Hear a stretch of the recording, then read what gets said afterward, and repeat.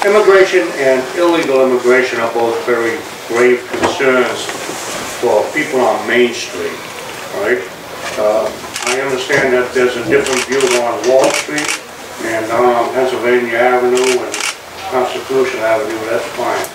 But we, the people, have to compete with immigrants and illegal immigrants for everything. okay? I understand. No. No. Well, hear me out. May I speak to the senator, please? Thank you. I understand that you're in favor, or at least are leaning towards putting some more limits on chain migration and doing away with the visa lottery. Would you also be in favor of a national e-verify system? Would you also hope Congress for the sixth time pass uh, appropriations for an entry-exit biometric system that tracks visa people and make sure that they leave when they're supposed to leave? Uh, And would you also uh, do something about illegal immigration, people that are here illegally?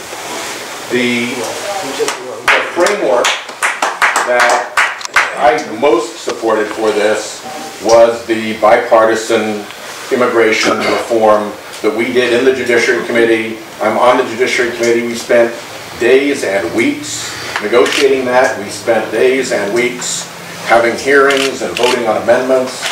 The Republicans got amendments, the Democrats got amendments. It was a very healthy process. And at the end, we came up with a very strong bipartisan immigration reform bill that touched on a lot of the issues that you're raising and that was 70 plus votes in the Senate, I want to say.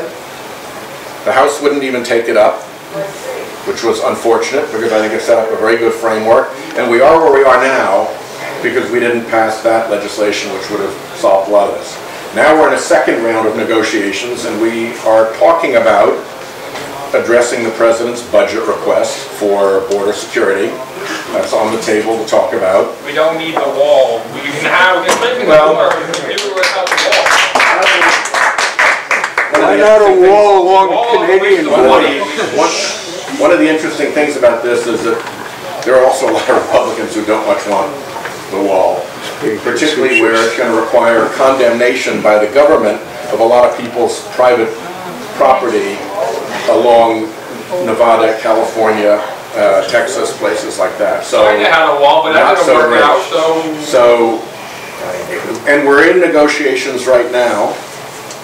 I think there's going to be a, as Lindsey Graham described it, a chapter one, which is a resolution to the DREAM Act with some funding for border security uh, and adjustments that we've talked to, to the family unification, chain migration piece. I think if we can get uh, 15, say, Republicans on it, they're talking to us now, we've got another strong shot going forward, and then I think we reboot the larger conversation. There has to be some balance here, as you know, because Democrats and Republicans have to agree to get anything done. But I think we've laid the framework for it with what we already passed, and what we already worked for. And this is a lot of the topics that uh, you've raised. So this is one of those areas where I think if we could get back to work and simply vote on amendments and get things through, we would find that there is actually less partisanship. It's when each side demands that it has to have an absolute victory and the other side has to be absolutely squashed, that everything comes to a halt. And that's part of what the problem was when we got into this collision uh, last Friday. I mean, seriously, I had, I've been in the Senate for 10 years.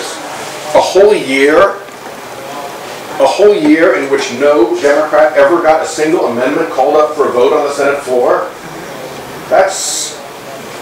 Unheard of, particularly from a guy like Mitch McConnell who used to say, oh, we've got to have regular order, we've got to have a robust amendment process. you know, you like Give me a legislation when, when it's brought So I think a lot of the issues that you raise can be addressed, should be addressed, and the part bipartisan process that got accelerated by this unfortunate weekend, I think is a path to doing that.